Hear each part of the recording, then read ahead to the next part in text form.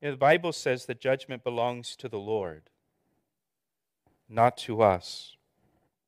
We're all sinners saved by grace. So we should not see ourselves as better than, or others as inferior to. We should not be condescending when we speak of others. Again, don't misunderstand what I'm saying. We, we can judge others, we, we can use discernment, we can evaluate a person and their lifestyle according to Scripture. That's our standard, the Word of God. We can tell people what the Word of God says about them and about the way they're, they're living. We can apply the truth of Scripture, and we should apply the truth of Scripture, and we should deliver the truth to people, but we shouldn't be judgmental when, when we do it or have a, a, a self righteous attitude or a virtuous attitude. I'm more virtuous than you are. Remember the religious leaders, who some of them are in this audience listening to this sermon that Jesus delivered on that hillside. Some the religious leaders, they, they looked down upon others. They, they believed they were better than others. They, they were judgmental. They were self righteous. Uh, for example, the Gospels tell us they despised Jesus because he ate with sinners and tax collectors. He, he eats with tax collectors and filthy sinners. And those self righteous religious leaders would never eat a meal with a tax collector or a filthy sinner.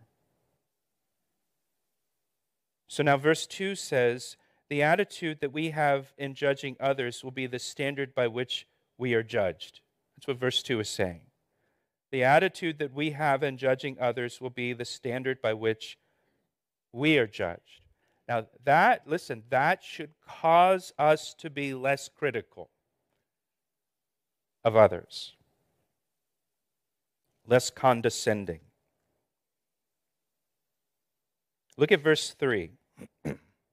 now, watch verse 3. Jesus says, again, he's giving this sermon on the hillside. There's thousands of people gathered there listening to this sermon. And he says, Now, why do you look at the speck in your brother's eyes, in your brother's eye, but do not consider the plank in your own eye? Now, give me your attention just for a moment. This is Jesus using humor in a sermon.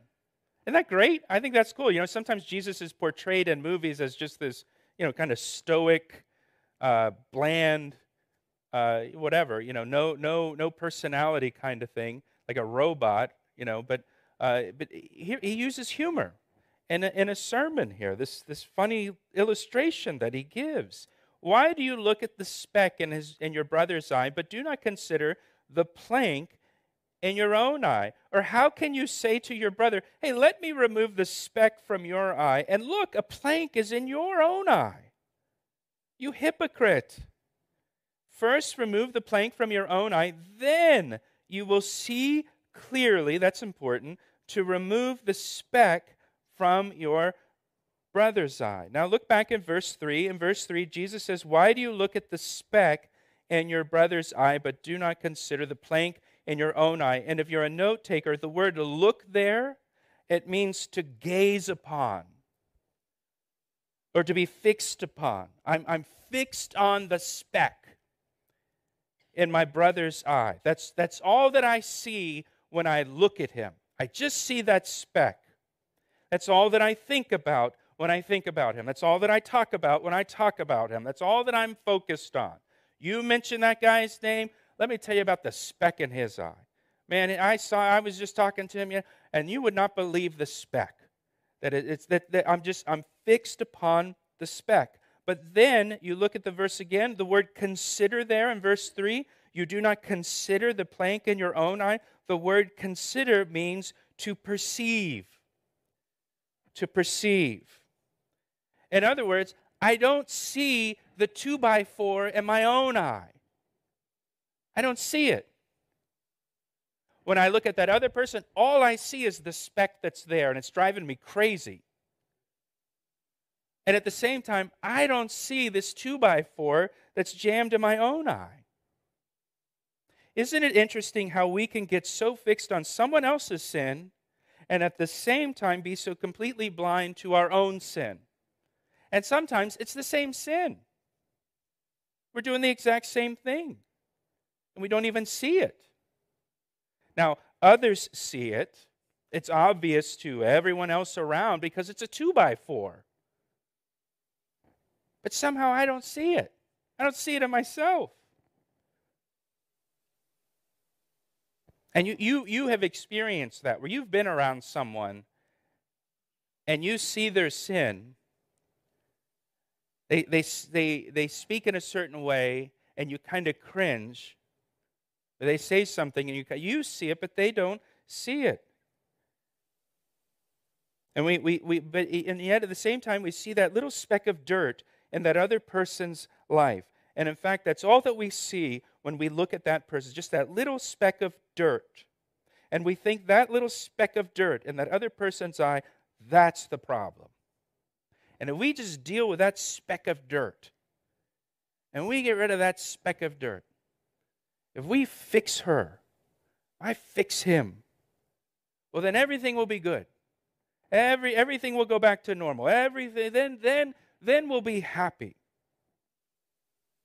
We can be so critical and judgmental of that little speck of dirt that that other person has, and all the while, we don't see the plank in our own eye. We don't see our own problems. We don't see our own shortcomings. We don't see our own sin that is contributing to the breakdown in the relationship.